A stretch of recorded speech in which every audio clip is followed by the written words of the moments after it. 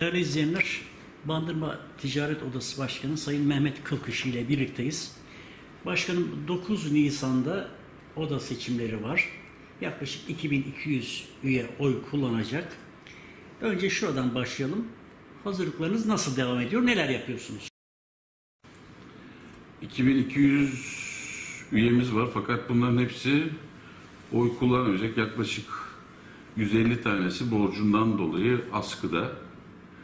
Yani takriben 2000 kişinin oy kullanabilecek kapasitede fakat katılımın %80-85 oranlarında olduğunu düşünürsek 1500-1600 kişi, 1600 kişinin oy kullanacağını tahmin ediyorum. Bizim kendi grubumuzun çalışmasını biz 15-20 gün önce grup çalışmalarını bitirdik. Yani artık grup olarak çalışmıyoruz. Herkes kendi grubuna çalışıyor. 9 Nisan'a kadar da herhalde bu tempoda grup olarak yani herkes kendi grubunda ferdi olarak çalışıyor. Bu tempoda devam edeceğiz. Benim kontrolümde devam ediyor. Geçtiğimiz günlerde turuncu liste, karşısındaki rakip liste bir basın toplantısı düzenledi. Ve o e, toplantıda yenilikçi olmadan, e, yeniden yapılanmadan e, söz ettiler. Sizce odada yeni bir yapılanmaya gereksinim var mı, ihtiyaç var mı? Bir şirket değil bir kere. Burada belli bir tüzük ve kanuna bağlı olarak yaşıyorsunuz. O çizgilerin dışına çıkma imkanınız yok. Yeniden yapılanma olarak neyi kastet, kastettiler bilmiyorum ama yeniden yapılanma derken ticaret odasını yeniden yapılandıramazsınız. Çünkü belli ticaretlere tabi. Soruyu bilmediğim için cevabını da vermek zor. Yeniden yapılanmanın ne demek olduğunu bilmiyorum. Odanın yeniden yapılanması derken personelin sayısının artması, azalması mı, odanın işte fiziki olarak yer değiştirmesi mi? O yüzden yani tam soruyu bilirsem daha çok Anlıyorum. daha güzel cevap veririm ama bilmiyorum sorunuzun ne olduğunu Evet. veya neyi kastettiklerini bilmiyorum. Zaten açıklamadı onlar da biz de bilmiyoruz. Öyle bir soruyu bilirsem cevabını da daha kolay. Bir toplantıda Bandırma Ticaret Odası üyelerinin sizin, sizden, yönetiminizden memnun olmadığını, sadece para toplanması sırasında e, hatırlandıklarını öne sürdüler. Gerçekten memnun değil mi üyeler sizden? Üye- üyenin memnun olup olmadığını sandık gösterir. Şu anda üye memnun, üye memnun değil demek bence çok yanlış. Ee, Ama biz göreve geldiğimizden ilk gün üye güncellemelerini yaptık. Üyeye ulaşımı sağladık. Bizim takriben çoğu üyemize yani belki 300-400 tane üyemize ulaşılamıyordu. Veya daha fazla bir geniş bir kitleye ulaşım sağlanamıyordu. Ve Ba- Bandırma Ticaret Odası'nın hiçbir faaliyetinden üyemizin haberi olmuyordu. Daha ilk gün biz göreve geldiğimizden ekip yukarıdaki çalışan personelimizi de her gruba bölüştürerek bazı her gruptan sorumlu personel yaptık ve o personeli de her grup üyeleriyle tek tek dolaştırdık. Aynı zamanda bir anket de düzenleyip kendilerine verdik. O hem bilgi güncellemesi sırasında o ziyaretlerde o anketi de gerçekleştirdiler. Ticaret odasından ne bekliyorsunuz gibi sorularla. Şu anda ve o, üye programı iki kere daha uygulandı bu toplam süreç içinde. Bugüne kadar ben üçüncü dönemim. Bugüne kadar hiç yapılmayan bir şeydi bu bir kere. Ha bundan sonra bu sayı daha fazlalaştırılabilir mi? Daha çok üyeyle bir araya gelinir mi? Tabii ki gelinilebilir. Ama üyeye ulaşılmadı. Üyeye gidilmedi. Üye e, bundan rahatsız. Üyeye sadece borcunuz varken arıyorsunuz. Bir kere biz borcumuz varken üyeyi aramayız. Üye hangi tarihlerde borcu olduğunu bilir ve o tarihlerde öder. O tarihlerde ödeyemeyen üyelerimiz de askıya alınır. Askıya alınan üyelerimiz de bizim içerideki meslek komite üyelerimiz ve meclis üyelerimiz tarafından tanıdık dostları varsa bir takım prosedür başlamadan önce de uyarılır. Biz bu kadar borcum var diye, bu kadar şey var diye borcu üyeyi aramayız. Sadece üyeyi kendi içimizdeki arkadaşlarımızın tanıdıkları varsa, üye de atlamışsa böyle bir şeyi uyarırız böyle bir borcum var diye. Ama ticaret odası tarafından değil, bizim içimizdeki mevcut arkadaşlarımız tarafından. Ama üyenin memnuniyetsizliğini memnun, memnun olup olmadığını 9 Nisan'daki seçim sonuçları gösterecek. Yine aynı toplantıda diğer başkan adayı Gürkan Bey'in şöyle bir iddiası oldu. Kişiler adaylıklarını kendileri belirlemeli dedi. Ve sizin e, adaylığınızın e, Sayın Rıfat Sarıcıklıoğlu onaylı, ondan adeta izin alınarak veya onun e, adayı gibi lanse edildiğini öne sürdü. Yani kendi özgür iradenizde aday olmadığınız söylendi. Bu konuda e, ne demek istersiniz, ne söylemek istersiniz? İzin makamı değil. Rıfat Bey Türkiye Odalar Borsalar Birliği'nin başkanı. Ee, Rıfat Bey izin verdi vermedi diye diğer şehirlerdeki, diğer illerde ve ilçelerdeki arkadaşlarımızla e, aday olup olmamaya Rıfat Bey böyle bir şeye karar vermez. Sadece Rıfat Bey arkadaşlarla bir uyum içindeyse o uyumun devam etmesi açısından memnun olduğu, uyum içinde çalıştığı arkadaşların devam etmesini kendisine birebir e, görüşmesinde söyler. Benim sadece Rıfat Bey'le bu yönde bir görüşmem oldu. Yani uyum Ama- içindeyiz devam edilirse değil mi? Evet. Evet. evet. Yani yoksa Rıfat Bey izin verdi, Rıfat Bey izin vermedi. Rıfat Bey izin makamı değil ki. İzin değil o zaten daha çok bunu kastetti. Uyumlu e, çalışma. İşte bana birebir söylemesinde hatta Amman'dan uçakla dönerken böyle bir sohbette bulunduk başkanımla.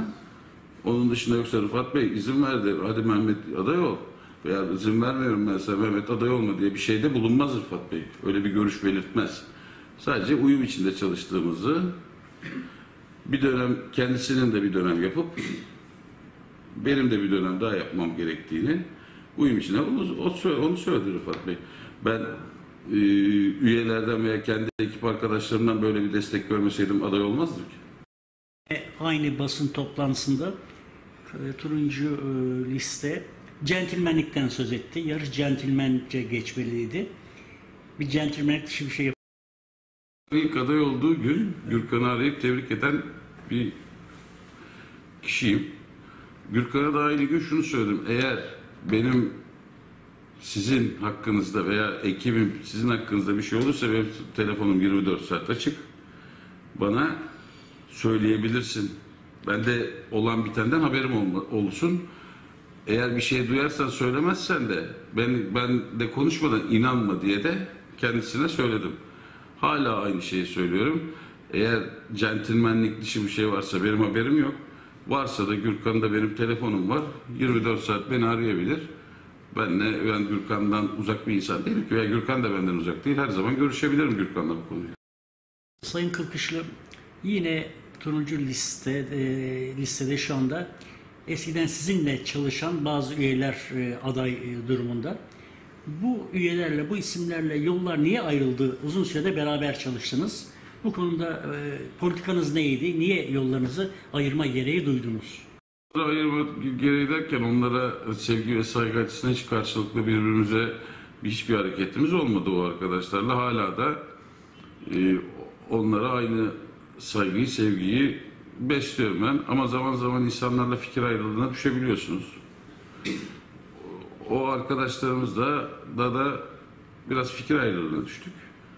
O yüzden yollarımız ayrıldık. Yoksa onlar da buraya çok güzel hizmetler verdiler. Hala da seçilirlerse aynı hizmete devam ederler. Ee, onlar e, bizden ayrıldı diye kötü insan veya biz onlardan biz iyiyiz diye bir şey yok ki. Onlar da ticaret odası için senelerdir hizmet ettiler. Ve o hizmetlerinden dolayı da teş- teşekkür ediyorum. Ben hala onlarla çok iyi görüşüyorum.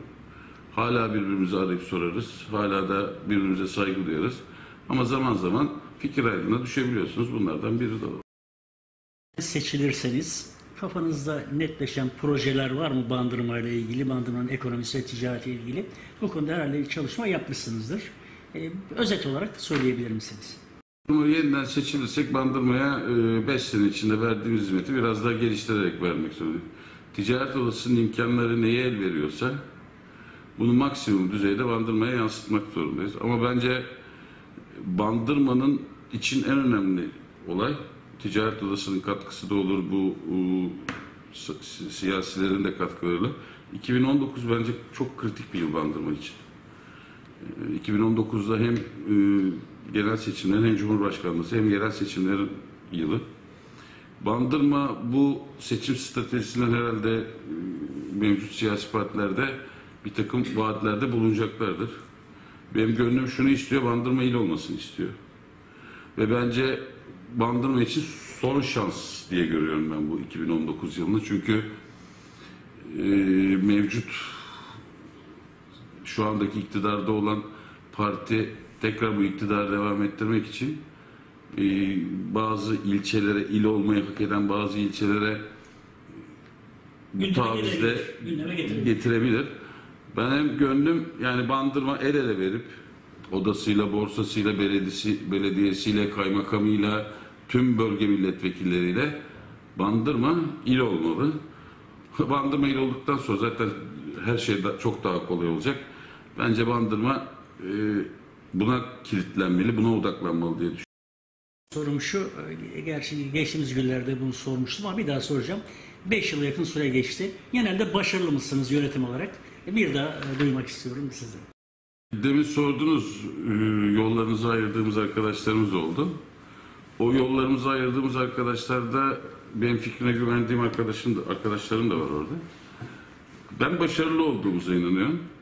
E, Şu anda karşı grupta olmalarına rağmen onlara da sorsanız aynı şeyi söyleyecektir.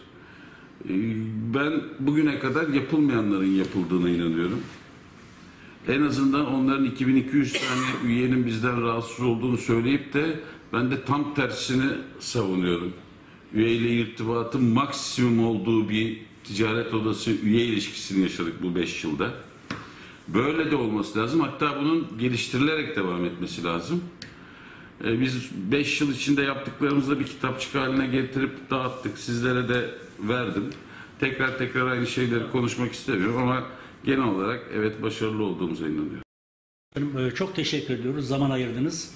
E, 9 Nisan'da başarılar diliyoruz. Çok teşekkür ederim. Sağ olun.